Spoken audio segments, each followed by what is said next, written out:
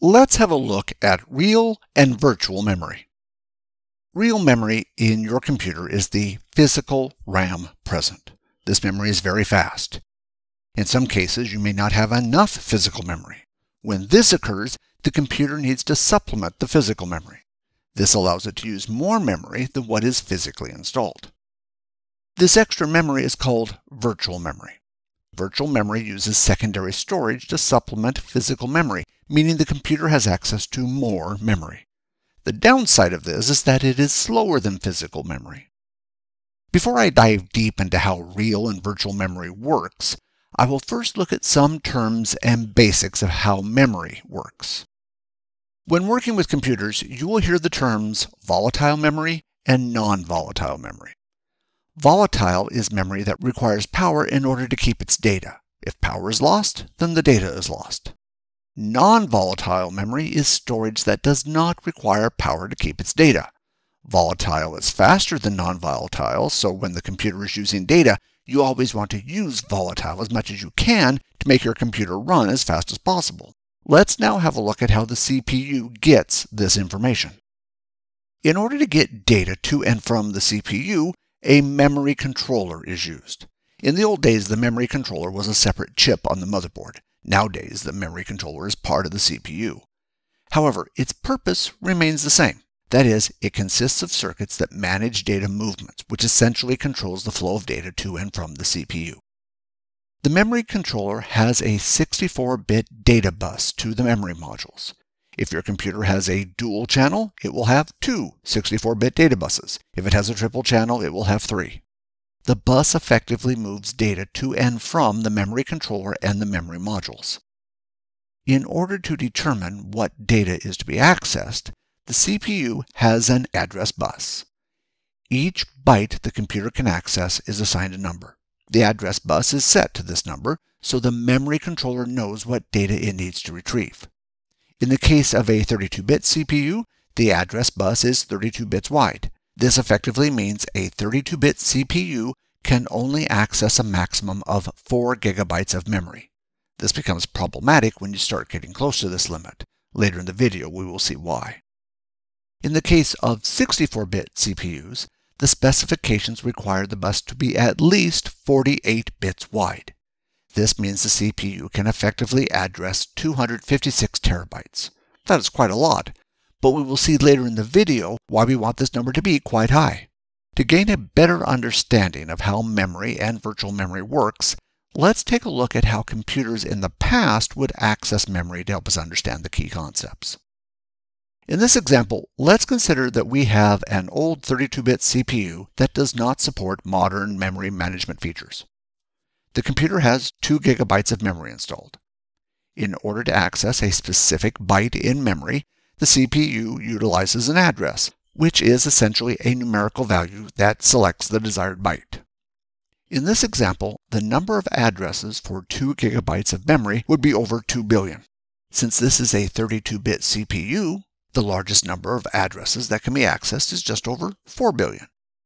Since this example only has 2 gigabytes of memory, essentially upper memory is unused. However, the CPU can still make use of this address space. Additional devices like video cards have memory on them. In order to access the memory on the video card, the CPU uses a memory address just like it would be processing main memory. Essentially, the video card's memory is mapped to the address bus. The CPU accesses the memory on the video card just as it would access the memory modules. If you are using a 32-bit system and you install 4 gigabytes of memory, you won't be able to access all the memory. This is because the CPU needs to access other devices' memory on the computer, for example, the video card. The CPU is only able to map one memory address to one location. Thus, all the memory addresses are not available, since the CPU requires access to device memory on the computer to operate. On some types of BIOS, you can change the amount of address space that is mapped to devices, like the video card. This will increase the amount of memory your computer will be able to access, however, it will reduce the performance of the video card. Before I start looking at how modern CPUs handle memory management, there is one last concept I want to look at. Modern CPUs don't have the problem I'm going to look at, but I will talk about it briefly to help you understand how modern CPUs work. Let's consider that there are two applications running on the computer. The first application requests some memory. The first application will then request some additional memory. The second application will also request some memory. After this, the first application requests some more memory. We have allocated most of the memory of the computer. If the first application no longer requires some of its memory, it releases it. You can now see there is a gap in the memory, and this is referred to as memory fragmentation. The problem now occurs when the second application requests more memory. The problem is that while there is enough free memory to meet the request, there is not enough contiguous space available. Contiguous simply means that the memory needs to be allocated as a single section of memory. That is, it resides together in the one place. There is enough memory to fulfill the request when both blocks of memory are added together, However, neither block is big enough on its own. Memory fragmentation prevents efficient allocation of memory. This ineffective memory allocation may prevent contiguous memory being allocated, even when there is enough free space available. So, let's have a look at how modern CPUs deal with this problem, which will help with our understanding of how memory and virtual memory are managed. Modern computers use memory translation to allow contiguous memory blocks to be allocated, even when the memory is fragmented. Essentially, what occurs is the software has a physical address, which is recorded in a page table. The page table is used to map the address to the memory. Thus, the page table is used to store mappings. So let's have a look at what has occurred. The application has been given a virtual address. This is translated using the page table to a physical address. The application sees a contiguous block of memory. However, in reality, this block of memory could be spread out randomly across the memory module. The whole process is seamless and transparent to the application. Now that we have an understanding of how memory translation works, let's have a look at how we can use it with virtual memory.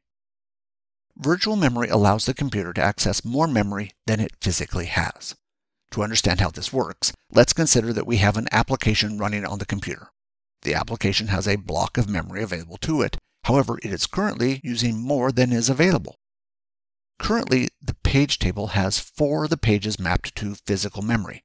However, it does not have enough memory to store the last page. This page is currently stored in secondary storage, which in this case is the hard disk.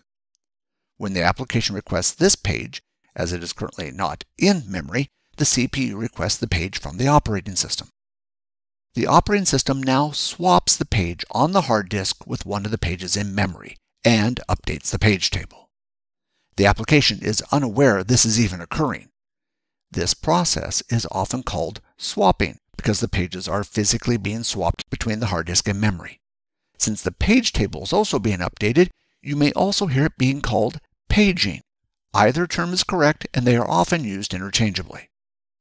If your computer is doing too much paging, this will slow down the applications on the computer, and the user may notice the computer becoming sluggish or experience delays in responding to requests.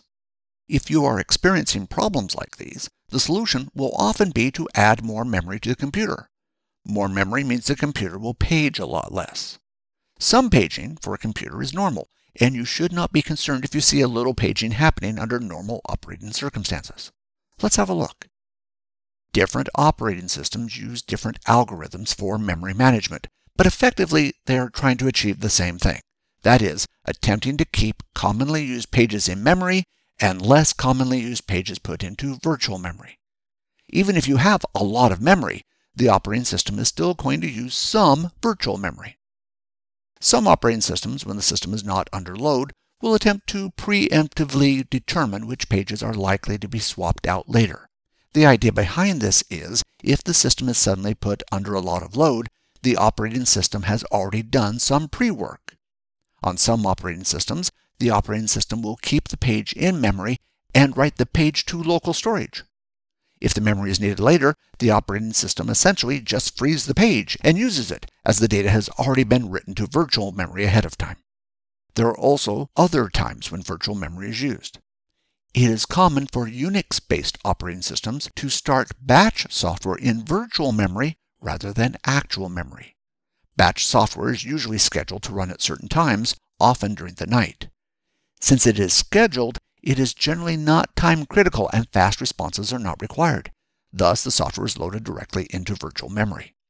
Essentially, loading it directly into virtual memory means the pages are only swapped into real memory if they are asked for. Typically, software is generally loaded straight into memory, and then the computer attempts to work out what to move to virtual memory. In order to do this, it needs to gather some statistics and try to predict what is unlikely to be used later. Batch software, in contrast, treats the problem as I don't know what is needed, so we'll only swap in what is asked for. Thus, pages that are never used are never put into memory. In contrast, loading it all in memory, the operating system would need to work out or guess which pages are most likely never to be asked for. Loading an application directly into virtual memory also helps when a large program is loaded, then exits very quickly. For example, a backup program may be loaded which does a quick check to see if tape media is in the drive, but when no tape is present, it exits. Doing the check uses very little memory compared to actually running the backup. Doing it this way makes sure we are not loading a full program into memory, using a small part of what was loaded and then exiting. It may not seem like much of a problem, but let's consider if you swapped out other software in order to have it fit in memory, only to use a small amount of what was loaded and then exit. Loading software directly into virtual memory makes the software a bit sluggish when it starts up. This is because effectively anything the program needs, it will need to ask for. Then it will need to be swapped into memory before it can be accessed. In the case of the batch programs, they often run as a background process, and as long as they complete after a certain amount of time, then no one is concerned if it was sluggish when it first started up. For example, it doesn't matter if a backup process that takes a few hours to complete was a bit slow when it started up. However, saving memory on large servers running lots of processes is more important than a sluggish startup. Virtual memory is stored by default in Windows in the C drive in the file called pagefile.sys. On a Linux installation, it is generally stored in a partition designed for virtual memory called a swap partition. It can be stored in a file if you prefer. Using a swap partition is generally more efficient since the operating system can access the data directly. A partition will always be contiguous since it is one block of data. However, a file may be segmented, particularly if it expands in size. A swap partition can also bypass the cache and write directly to the partition and avoid system overhead. Having said all that, the more modern Linux operating systems are very efficient and you may not notice the difference between the two. You will generally get better performance from a swap partition, but the difference is not as noticeable as it used to be. When swapping is done between virtual memory and real memory, this is called swapping or paging, and these terms are used interchangeably. Now that we have an understanding of how virtual memory works, let's throw a bit of a curveball into what we've learned. Let's consider a definition of virtual memory. If this was storage related, we could have a definition of allocating a section of storage to act as part of memory. This is what we've seen so far. Essentially, when the computer needs more memory, it uses storage to supplement memory, swapping between them as required. However, if I consider it in a software sense, I could say virtual memory gives an application the impression it has a contiguous working address space. Which is correct? Well, they're both correct in the right context. Thus, when talking about virtual memory, keep in mind the context in which it is being talked about. Let's have a closer look and also bring the main concepts of this video together. Let's consider that we have a computer that has 8 gigabytes of real memory. The computer also has 12 gigabytes of virtual memory. On your computer, the virtual memory may be a fixed size, or it may be dynamic, expanding as needed until it runs out of space to expand into. The computer will see this as 20 gigabytes of usable memory. In the case of physical memory, this will be connected using a 64-bit bus. If your computer has multiple channels with multiple memory modules, there may be multiple data buses connecting to the memory modules. Each data bus is 64 bits. The 12 gigabytes of virtual memory on the hard disk is connected to the computer and seen as part of the usable memory. Since the computer can only access data in the memory modules and not the hard disk directly, when a request comes through for data stored on the hard disk, The operating system swaps the data on the hard disk with the memory module. As we saw earlier, this may also be referred to as paging. Thus, in the case of virtual memory storage, this is storage that is used to increase usable memory. In order for software on the computer to run efficiently, a translation layer is added so the software on the computer does not need to worry about where the memory is stored. The translation layer is in the memory controller. This used to be a separate chip, but nowadays the chip is located inside the CPU. The memory controller provides the translation layer.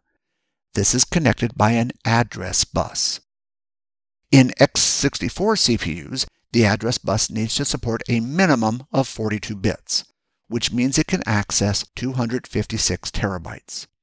This is the minimum and could be increased all the way up to 64 bits, but even in the largest computers, 256 terabytes should be enough.